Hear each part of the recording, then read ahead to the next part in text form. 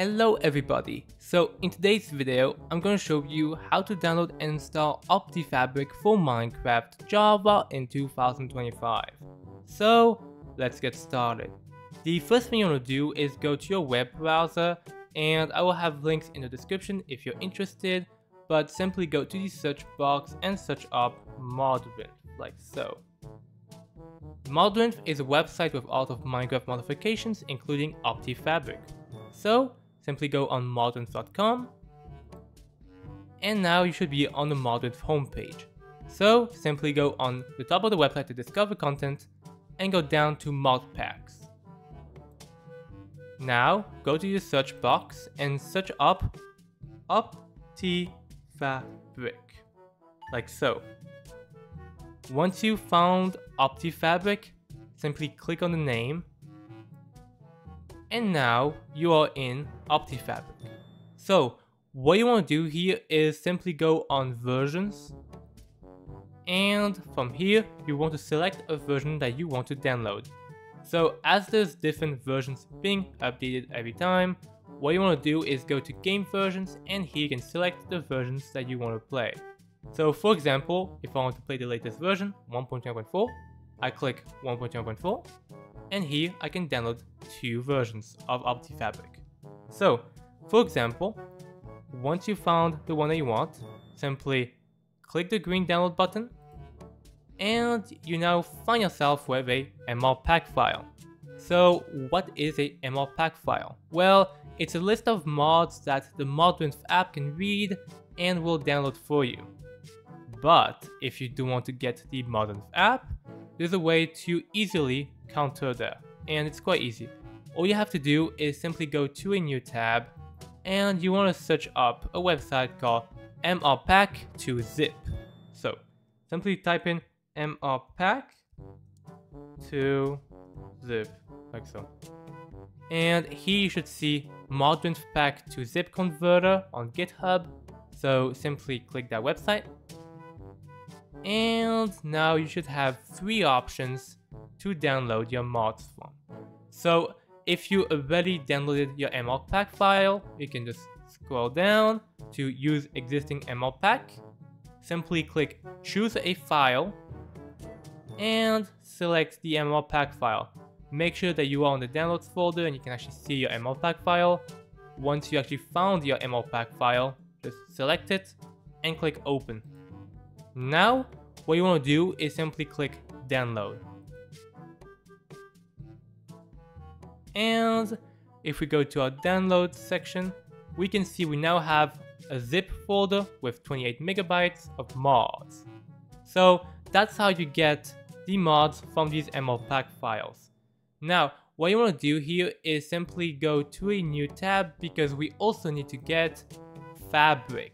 And to get Fabric, you need to go to a new tab and search up Fabric Minecraft.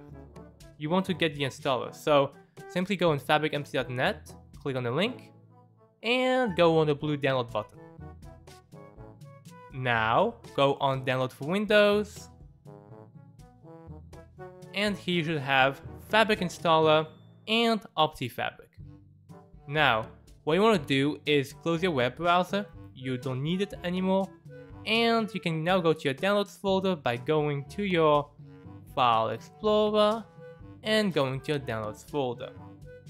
Here you should have these three items. Number one, you can delete the ML pack file, you don't need it. And number two, you need to extract the OptiFabric zip. The way you can do that is by right clicking it and clicking extract all. If you have apps like 7zip or WinRAR, use the methods of doing it because you might not see this extract all option from Windows that shows up. So just click in option called extract and extract. And now you have all your mods easily accessible. What you want to do now is go back to your downloads folder like so, so you see three items again, and simply go in the OptiFabric folder and copy the mods folder to your downloads folder just to make everything nice and clean. So copy, downloads, and paste. Like so. Now you should have four items. Now, what you want to do is delete the OptiFabric folder. You don't need it. And you want to delete the OptiFabric zip. Now, this is all you need. What you want to do is double click the Fabric installer. Make sure that the Minecraft version is the same version as all your mods, so your OptiFabric. So make sure that it is the right version. If it is, click install, OK, and close. Once you're done, simply go to the Minecraft launcher and wait for the Minecraft launcher to load up. And then we will be able to replace our mods folder with the new mods folder. Here we can see we have Fabric Loader, and what we can do is go to installations.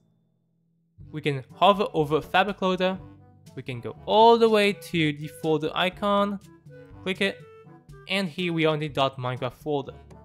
What you want to do is find the mods folder if you have one, delete it, and you want to go to your downloads folder. You want to select your mods folder, you want to copy your mods folder. You want to use the top left arrow to go back to your previous folder, which is back to Minecraft, and click paste. Now you have your mods, like so, in your .minecraft folder. What we can do is simply go to the Minecraft launcher, go to play, make sure Fabric Loader is selected, and click play. So now let's just wait for that. There you go. And now Minecraft with OptiFabric will load up. So let's just wait for that. Okay. Here we can see that we have OptiFabric, we have Minecraft 1.10.4 slash fabric with 146 mods, which use the mod list for that. And if we go to single player or server or realms, it works with everything as its client side. We can easily go to a world and test out our OptiFabric. So OptiFabric is obviously meant to give you more performance, shown by the sodium renderer right here. If we go to our options, we can see we have more options to change right here. We can go to video settings and we also have sodium extra as well with more things that we can reduce and change to get more FPS. As well as that, we can go back to video settings and add shader packs just like Optifine. Like so.